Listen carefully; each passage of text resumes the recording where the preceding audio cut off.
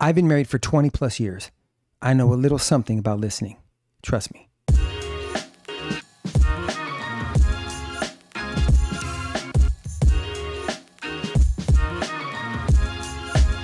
Hey guys, welcome back to this week's video. Thank you so much for tuning in.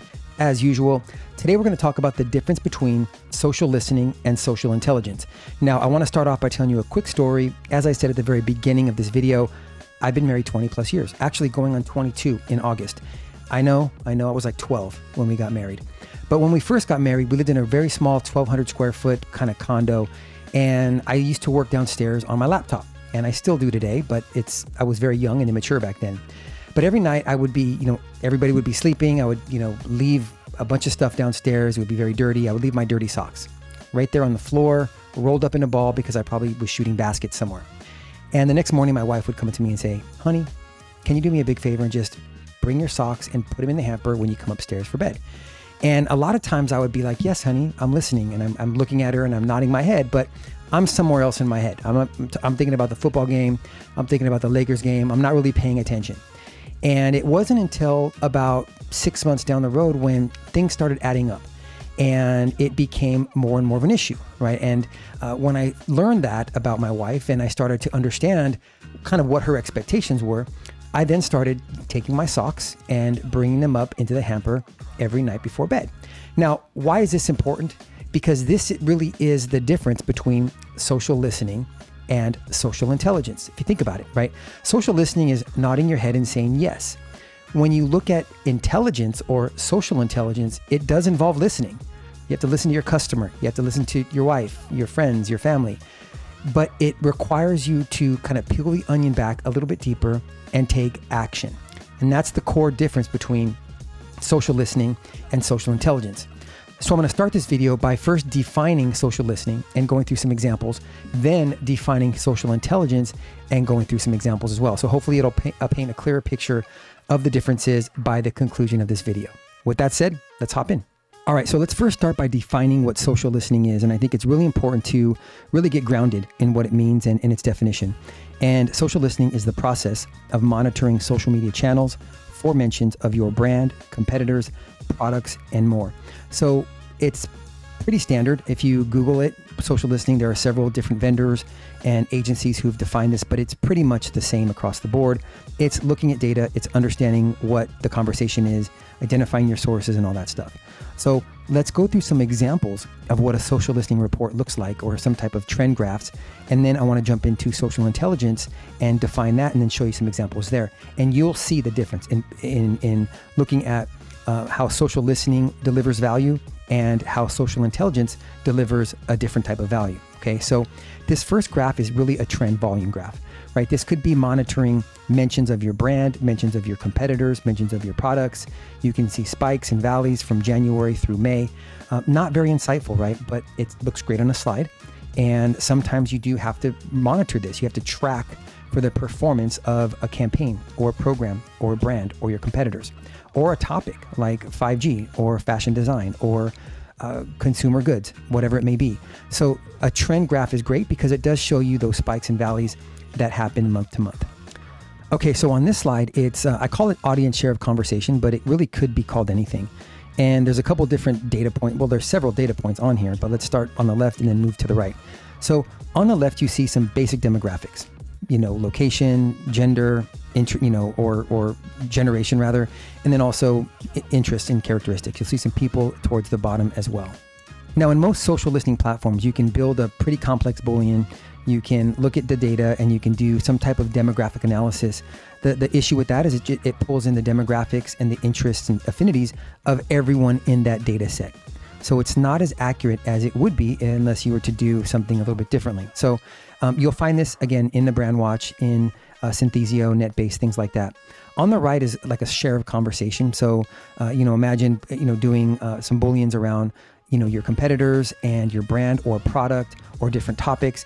You can start to get an understanding of, you know, what topic and or brand or competitor are being uh, discussed the most in the form of pure mentions across social media, forums like Reddit, uh, even reviews, re- review sites on Amazon and G2, things like that, or even the news media.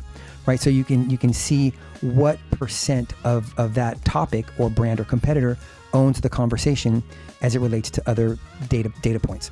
Okay, so a couple of use cases of social listening, and again, this all seems pretty elementary, and these are things that we've been refining and building over the last 15 years or so. But we know there's a new breed coming into the workforce, and you know they're starting to understand how to use social media from a business standpoint. They already know social media from a personal standpoint, so it's really important to ground you know this new generation who is who are coming into own social listening for organizations or agencies. So uh, again, pretty self-explanatory, but let me just talk through a couple of these. Community management is again sometimes happens in-house, sometimes at agencies. Customer care usually that's in-house or through some um, third-party customer care organization. Crisis monitoring for PR teams to monitor negative mentions or sentiment of a brand, or if there's a crisis that kicks off. Real-time social engagement. So I we do this quite a bit where we look at an audiences and see what's trending amongst the audience from a topical standpoint and then create content in real time based on what's trending against that panel.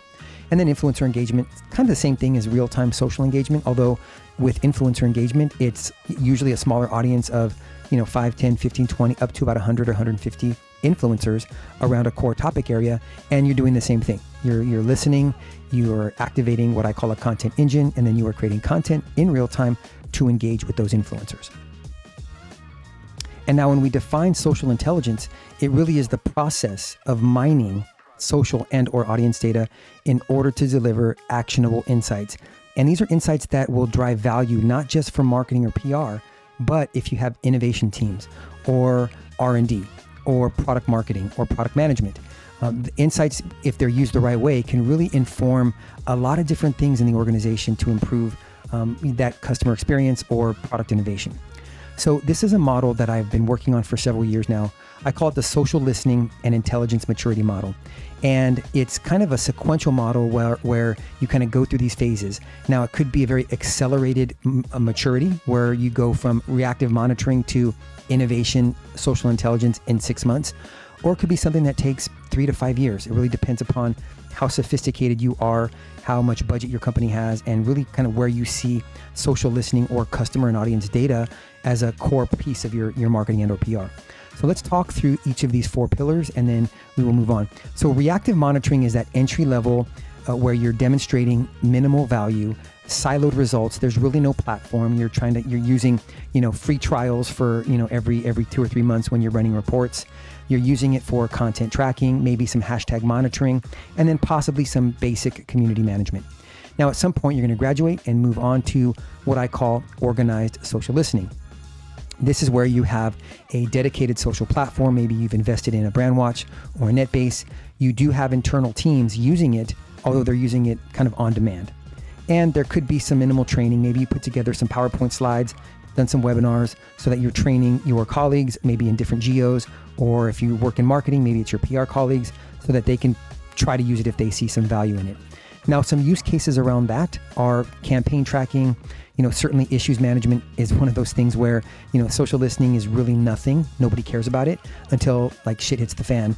And then it becomes like the number one priority for the CMO. And then consistent monitoring. Maybe you have a schedule where you're monitoring, you know, two or three times a week from 8 to 5 p.m. whatever the whatever the kind of the schedule is you have there is some consistency in using the platform to monitor the conversation then you move to the right and you do you become more proactive, right? I call it proactive social listening. You're demonstrating real business value. you you have a listening and, and a governance model deployed. Uh, and maybe you have a center of excellence who's responsible for training, for a consistent measurement philosophy, for rolling out new platforms, for negotiating contracts. And some of the use cases around that is really developing a more consistent and integrated customer experience, Part of that is social customer care. And then, as I mentioned earlier, that real time engagement is something that I would refer to as being more proactive in listening to audience conversations and engaging through creative content based on what's trending. And then lastly is that innovative social intelligence, where that is kind of ingrained in every piece of the business. You're using social and audience data to find markets, market white space, uh, a universal truth about an audience. You're using it to solve customer uh, care problems. You're using it to create content. You're using it to innovate new products based on what audiences are saying about what they want and what they desire. And that's the use case, right? It's product innovation, it's forecasting, it's building customer advocacy, identifying influencers, and then at some point using it to predict, uh, predict an outcome based on uh, what it is you're trying to do from a marketing and or communication standpoint. So this is a model. Again, I'm curious where you are on this model, and, and maybe you're kind of in different pieces uh, as it relates to this. You know, again, it's not sequential. It's not like you go from one to the other. You can go from one to 100 overnight, depending upon how sophisticated the, the your company is, how much budget you have, and, and really where you prioritize social listening. I want to talk about the economics of supply and demand because I think this is really important as it relates to social listening, and I have some examples here. Now, this is a model that's built off, you know, the the true economic model of supply and demand. But in this case, we are using social data and or analytics to understand and identify the stories, the trends, the content, the things that are keeping your audiences up at night that are demanding their attention and so, depending upon what piece of the company you work in, you could be working in PR, in which case your audience is traditional media. Or if you work in marketing, certainly your, your audience is your customers, in this case, audiences. And one thing I like to ask clients is okay, now that we understand the, the content and the stories and the trends that are demanding the attention of your audience, are you meeting that demand with your supply of content? And again, regardless of where you sit, you know, in the organization, these are all important things to think about, right? Are you getting the right stories based on what what is top of mind for your audience? Are you publishing content in your blogs and social media based on what your what you know your customers and or the media expects? So when you can achieve that, you then begin to find market white space, and that's really this example here. So imagine you're an AI company and you do an analysis of your customers, and in this case, it's your audience on the right. And you're, when you're analyzing the data, it shows that cloud, scaling, and integrating AI in the enterprise and also digital transformation are top of mind. That's what your audience is talking about. That's what they're mentioning in their tweets. That's what they're sharing on their their LinkedIn. That's what they're commenting on on Reddit, etc. Now, if you do the same analysis with content that you produce and publish from an owned media standpoint, blogs, newsroom, web pages, and also the supply of organic and paid content, um, you find that, okay, well, when we publish content, most of the topics that we talk about are security, IoT, and data science. So in this case, there's a huge disconnect, right? There's really no there's no overlap, right? So you're not meeting the demand of the audience, which means you're not as relevant to them as you should be. Now, here's an example of how that looks looks um, with real not not real data, but a, a, an example data set. On the left, on the left, you have an analysis of your owned media and what you publish on social as well as in blogs, and it's all broken down by color. So if you look on the left, you have security, machine learning, IoT, and data science. Those are the four core themes that you are publishing. That's the content that you're publishing if you look at it from a volume standpoint and it's all broken down by the size of these pie charts. So security and machine learning account for about what is that 60 65% of the content that you're publishing followed by IoT and data science. Then you can take it a couple layer, layers further and say okay, well what about security do we talk about the most? Well, data security, data protection, cloud, uh, hybrid cloud, what the CISO is saying, info security, etc. And and then when you do the same type of analysis but on what your audience is saying on the right, well, here's where they're talking about, you know, cloud formation or scaling or digital transformation or remote working. And so when you have these two different data sets and you compare them to one another, you can see that, okay, there's only really one area that's overlapping, and that's security. That's great. That means we're doing the right thing. We are pitching the right stories or we're publishing the right content. However, digital transformation, scaling AI, cloud computing. These are things that we don't talk about. So we need to figure out now how we can integrate those topic areas and, and ensure that it's relevant to our audience, but also aligned to our brand. Here's another example of what I would call a persona. And we do a lot of this persona development where you know, you, you've seen templates like this when you Google Google audience persona or persona in general. You see templates from HubSpot and others. This is real data. This is building an audience and analyzing their affinities and characteristics and channels that they use to understand kind of give you a, a really a 360 degree view of their top interests, the their health brand affinities, their fitness affinities, their top influencers. This is a real data. Now, Anna is not obviously a real person. Her age isn't real. That's kind of made up, but the data is all 100% real. And the same for this one, right? It's a very similar persona, but we have some fitness uh, brand affinity, some top interests, preferred channels, but now we have a conversation analysis. So, what about fitness is top of mind for this audience? Right? So, community, mental health, fitness, family, friends, etc. This is how they talk about going to work out or going to Soul Cycle or going to um, some type of you know gym to work out with friends and family. They're doing it for a lot of different reasons outside of just abs, right? They want to build community. They they're doing it to achieve you know more mental health stability. They're doing it to be with community and friends and family. So this is kind of combining not just brand and interest affinities, but also the conversations that they're having the most about uh, the areas that you think are important if you are a fitness brand. And here we have another type of persona where we don't, um, we kind of built a broader persona around commercial real estate agents. And from the audience segmentation of, you know, bio searches, of, you know, different interests and affinities, we can categorize them in different types of uh, clusters. So we have C suite, reporters and analysts, managers, investors, VCs, and brokers. And so the great thing about audience analytics is you can dig down and dig much deeper into each one of these to understand basically the conversational drivers, the media affinities, the channel usage, the types of content that they're sharing. And this is another example of a IT decision maker. So the head of IT um, in this case, we have her top media affinities, her top channel preferences. We also have her software purchase factor. So, how does she purchase software? What are those core things that are top of mind for her when she is, you know, determining what to purchase? Whether it's security software or data storage, utility, security are the top two, followed by design, then mobility and performance. So, um, and then the conversation on the right, right? Data science, insights and uh, cloud and CIO, these are the things that are top of mind for the head of IT. And again, these are real people um, and uh, audiences that can be built and analyzed. Um, and this really is social intelligence. And this is the last slide I wanted to share. This is kind of taking it a little bit further than what we just showed you, looking at CIOs. And when you look at their conversation at the purchase funnel, so when they're in the awareness phase, what are they talking about? When they're in the consideration phase, what's top of mind? All the way to loyalty and and and understanding what drives uh, retention for them as a customer to different software and or hardware uh, uh, te- technology vendors. And so this is what I would call like mapping uh, an audience to the buyer's journey.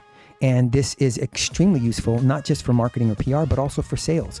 If sales understands what's top of mind for their customers at each of these phases, they can really learn and get smarter about how they approach uh, a meeting with a CIO or head of IT, or how they send follow up materials, or how they even reach out uh, for the first time on LinkedIn or using Sales Navigator, things like that. And I really do hope that this uh, made sense to you, and I hope that it was helpful for you. And that, my friends, concludes our time together today. I hope that my explanation and examples really does paint a clear picture as to what the differences are between social listening and social intelligence. A lot of times they're used synonymously. You know, you might say that you're looking for a job related to social intelligence or social listening or monitoring or whatever it is. But there is a key differentiator between the idea of taking data, social data or other type of data, and using it to inform something or solve a business problem or something along those lines. So before I let you go, I got to do what good YouTubers do and say, don't forget to like or subscribe or share because you can't comment on my videos, and there's a reason why. Uh, this video, if it makes sense to you, if you feel that you know a colleague or a friend or someone in the industry might find value, uh, please share it and let me know either through Twitter or other means, uh, LinkedIn or email if you have that. So thanks again. I hope you're well. I hope you're safe as you're preparing back, uh, preparing to get back to work if you are. And until I see you next time, have a safe rest of your week, and I'll talk to you soon. Bye.